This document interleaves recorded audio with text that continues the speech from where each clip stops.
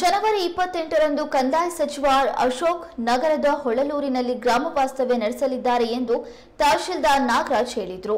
ಮಾಧ್ಯಮಗಳೊಂದಿಗೆ ಮಾತನಾಡಿದ ಅವರು, ಈಗಾಗಲೇ ಜಿಲ್ಲಾಧಿಕಾರಿ ಸೆಲ್ವಮಣಿ ಅಧ್ಯಕ್ಷತೆಯಲ್ಲಿ ಕಾರ್ಯಕ್ರಮದ ಸಿದ್ಧತೆ ಕುರಿತು ಪೂರ್ವಭಾವಿ ಸಭೆ ನಡೆಸಲಾಗಿದೆ.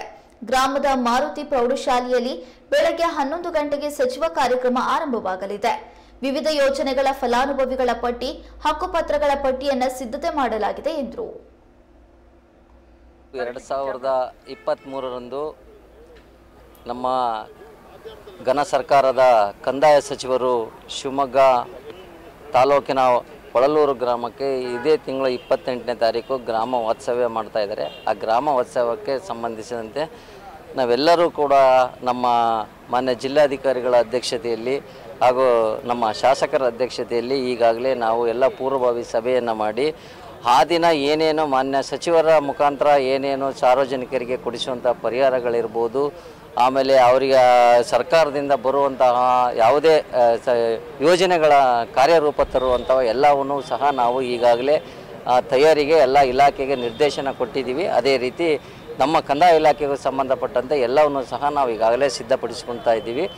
ಅದೇ ರೀತಿ ಹಟ್ಟಿ, ತಾಂಡ ಮತ್ತು ಹಕ್ಕುಪತ್ರಗಳನ್ನು ಕೊಡುವಂಥ ಕಾರ್ಯಕ್ರಮವನ್ನು ನೈಂಟಿ ಫೋರ್ ಸಿ ಮತ್ತು ನೈಂಟಿ ಫೋರ್ ಡಿ ಮತ್ತು ninety four C C D ಏನು ನಾವು ಹಕ್ಕುಪತ್ರ ಕೊಡಬೇಕು ಅಂತ ಏನಿದ್ವಿ.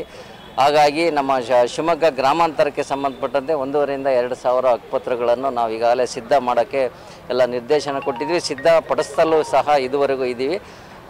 ಹಾಗಾಗಿ ನಮ್ಮಲ್ಲಿ ಮೊನ್ನೆ ಅಲ್ಲೇ ಸಚಿವರು ಅಲ್ಲೇ ಗ್ರಾಮ ವಾಸ್ತವ್ಯ ಮಾಡಿ ಅಲ್ಲೇ ಆಲ್ಟ್ ಆಗೋದ್ರಿಂದ ಎಲ್ಲ ಪೂರ್ವಭಾವಿ ಸಿದ್ಧತೆಯನ್ನು ನಾವು ಈಗ ಆಲ್ರೆಡಿ ರೆಡಿ ಮಾಡ್ಕೊಂಡ್ವಿ ಜಿಲ್ಲಾಧಿಕಾರಿಗಳು ಸಹ ಈ ವಿಚಾರವಾಗಿ ಮೂರು ಬಾರಿ, ಎರಡು ಬಾರಿ ಸಭೆ ಮಾಡಿದ್ದಾರೆ ಈಗ ಒಂದು ಶುಕ್ರವಾರ ಅಲ್ಲ, ಇಪ್ಪತ್ತೆಂಟನೇ ತಾರೀಕು ಬೆಳಗ್ಗೆ ಹತ್ತು ಗಂಟೆಗೆ ನಮ್ಮ ಗ್ರಾಮಕ್ಕೆ ಆಗಮಿಸಿದ ಮೇಲೆ ಇಪ್ಪತ್ತೊಂಬತ್ತನೇ ತಾರೀಕು ಬೆಳಗ್ಗೆ ಹನ್ನೆರಡು ಗಂಟೆವರೆಗೂ ಇರುತ್ತೆ. ಒಳಲೂರು ಗ್ರಾಮ. ಸಿದ್ಧತೆ ಎಲ್ಲ ಈಗ ಆಲ್ರೆಡಿ ಏನಕ್ಕೆ ಪೂರ್ವಭಾವಿಗೆ ಏನು ಸಿದ್ಧತೆ ನಾವು ಮಾಡ್ಕೋಬೇಕು ಎಲ್ಲ ಸಿದ್ಧತೆಗಳನ್ನು ಮಾಡ್ಕೊಂಡಿದ್ದೀವಿ.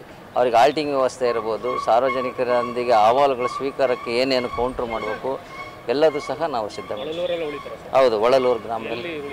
ಒಳಲೂರು ಗ್ರಾಮದಲ್ಲಿ ಯಾವ್ದಾರ ಹಾಸ್ಟೆಲ್ ಅಂತ ಹೇಳಿದ್ದಾರೆ. ಹಾಸ್ಟೆಲಲ್ಲಿ